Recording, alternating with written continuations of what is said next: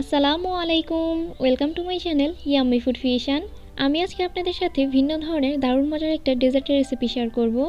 এই ডেজার্টটা তৈরি করা আসলে কিন্তু খুব একটা কঠিন না। ধাপে ধাপে কয়েকটি স্টেপ ফলো করলেই খুব সহজেই এই ডেজার্টটা তৈরি করা যায়। চলুন দেখে নেওয়া যাক কীভাবে এই মজাদার ডেজার্টটা তৈরি করতে হয়। প্রথমেই আমরা সুপেস্ট তৈরি করে নেব। এই জন্য একটা পাত্রে তিন টেবিল চামচ পানি, এক চা চামচ চিনি, সামান্য পরিমাণে লবণ এবং দুই টেবিল চামচ বাটার দিয়ে দিচ্ছি।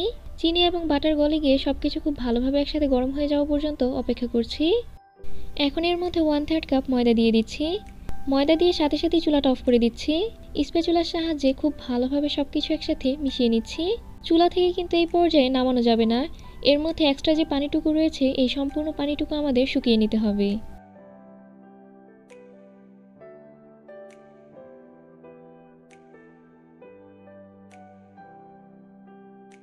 আর এই মিশ্রণটা কিন্তু অবশ্যই খুব ভালোভাবে মিশিয়ে নিতে হবে। আমি কতক্ষণ মিশিয়ে নিয়েছি এটা আপনাদেরকে ভালোভাবে বোঝানোর জন্যই আমি এই পার্টটাকে কেটে ছোট করিনি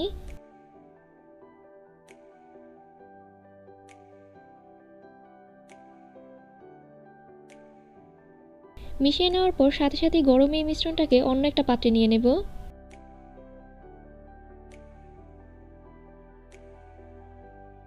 গরম মিশ্রণটাকে ইলেকট্রিক বিটারের সাহায্যে এক মিনিটের জন্য লো স্পিডে বিট করে নিচ্ছি। এমন ছাড়া ছাড়া হয়ে যাচ্ছে দেখে ভয় পাওয়ার কিছু নেই। ডিম দেওয়ার পরে কিন্তু এটা ঠিক হয়ে যাবে।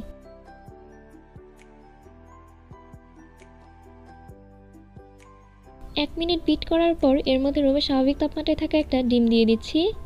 মিশ্রণটা ঠান্ডা হওয়ার জন্য কিন্তু অপেক্ষা করা যাবে না। ঠান্ডা হলে এই মিশ্রণটা কিন্তু ডিমের সাথে মিশানো যাবে না। মিশ্রণটা অনেক বেশি শক্ত হয়ে যাবে। আর ভয় পাওয়ার কিছু নেই, এই মিশ্রণের গরমে কিন্তু ডিম সিদ্ধ হবে না। বিট করতে করতে মিশ্রণটা কিন্তু খুব ভালোভাবে ডিমের সাথে মিশে যাবে। আর ডিমের গন্ধ দূর করার জন্য আমি এর মধ্যে এক ফোঁটা ভ্যানিলা এসেন্সও ব্যবহার করেছি।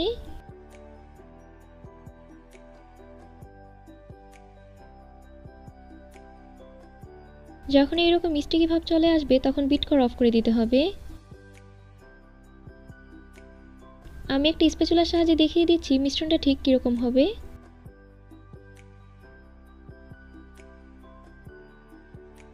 রাউন্ড শেপের একটা নজল পাইপিং ব্যাগের মধ্যে নিয়ে নিচ্ছি।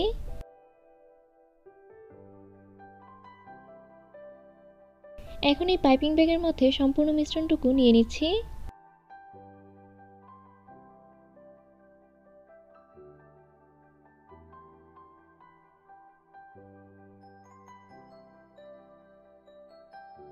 আমার ওভেনের ট্রেতে একটু আঁকা বাঁকা ডিজাইন করা। এই জন্য একটা সুইচ রোল মোল্ড উল্টো করে নিয়ে এর মধ্যে বেকিং পেপার দিয়ে দিচ্ছি। আমি আমার পছন্দ মতো একদম ছোট শেপে তৈরি করে নিচ্ছি। আপনারা আপনাদের পছন্দ মতো অনেক বড় বড় করেও তৈরি করে নিতে পারেন। আমি যে পরিমাণে মিশ্রণটা তৈরি করেছি তা দিয়ে এরকম দুই ট্রে হবে। আর একটা ট্রেতে প্রায় একশোটার মতো করে হবে। হাতে সামান্য পরিমাণে পানি নিয়ে এর উপরের দিকটা একটু চেপে চেপে দিচ্ছি। একশো ডিগ্রিতে ওভেনটাকে দশ মিনিটের জন্য প্রিহিট করে নিয়েছি। এখন এই প্রিহিট করা ওভেনে একশো ডিগ্রিতে পনেরো মিনিটের জন্য বেক করে নেব।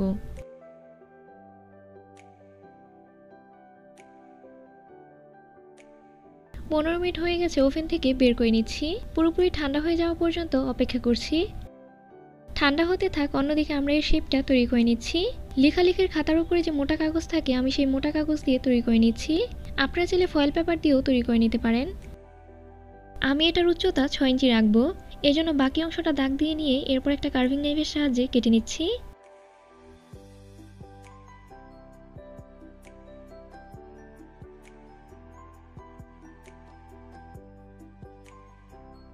বেকিং পেপারের সাহায্যে সম্পূর্ণ শেপটা খুব ভালোভাবে মুড়িয়ে নিচ্ছি। এতে করে ডেজার্টটা সার্ভ করতে অনেক সুবিধা হবে।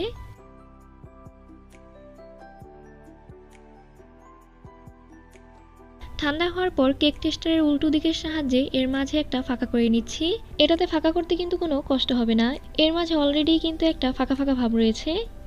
একই রকমভাবে আমি সবগুলো তৈরি করে নিচ্ছি।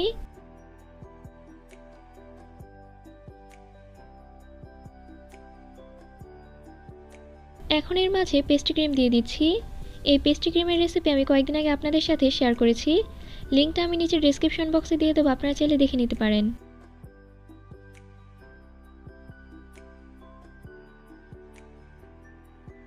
কিছুটা ডার্ক চকলেট মাইক্রোওয়েভে মেল্ট করে নিয়েছি। ডার্ক চকলেটে ডিপ করে নিয়ে বেকিং পেপারে লাগিয়ে নিচ্ছি। আপনারা চাইলে ডার্ক চকলেটের পরিবর্তে ক্যারামেল ব্যবহার করতে পারেন।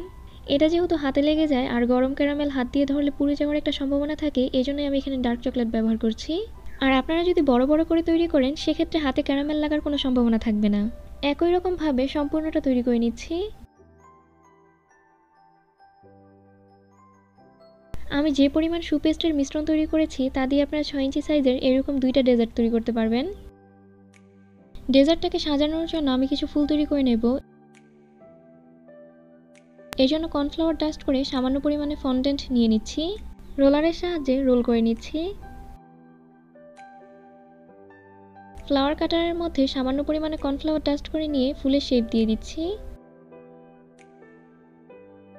একই রকমভাবে আমি কয়েকটা ফুল তৈরি করে নিচ্ছি।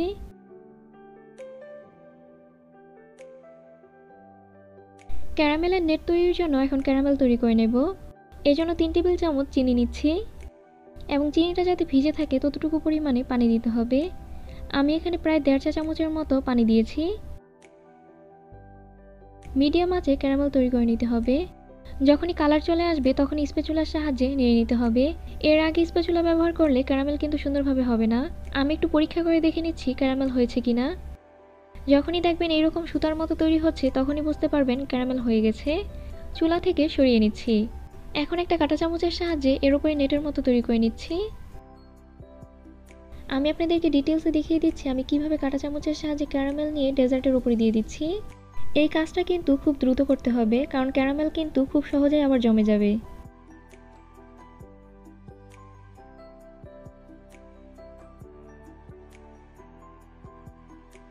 আমি এই নেটটা খুব একটা সুন্দর করে করতে পারিনি। আপনারা আর অনেক সুন্দর করে এই নেটটা তৈরি করে নেবেন। সবশেষে এর উপরে ফন্ডেন্ট দিয়ে তৈরি ফুলগুলো দিয়ে দিচ্ছি।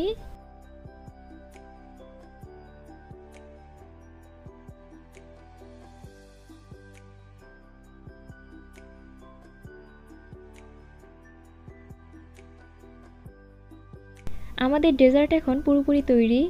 আমি আপনাদেরকে সার্ভ করেও দেখিয়ে দিচ্ছি, এটা ঠিক কীভাবে সার্ভ করতে হয়। উপরের দিক থেকে একদম ক্যারামেল সহ খুলে নিয়ে সার্ভ করতে হবে। এই ক্যারামেল কিন্তু আস্তে আস্তে মিলিয়ে যাবে এই জন্য এই ডেজার্টটা সাথে সাথেই সার্ভ করে নেবেন।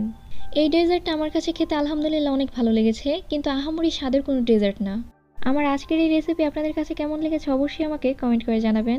আর ভালো লেগে থাকলে প্লিজ আমার চ্যানেলটা সাবস্ক্রাইব করবেন। আর যারা সাবস্ক্রাইব করেছেন, তাদেরকে অসংখ্য ধন্যবাদ। সবাই অনেক বেশি ভালো থাকবেন। সবাই সবার জন্য দোয়া করবেন। আল্লাহ হাফিজ।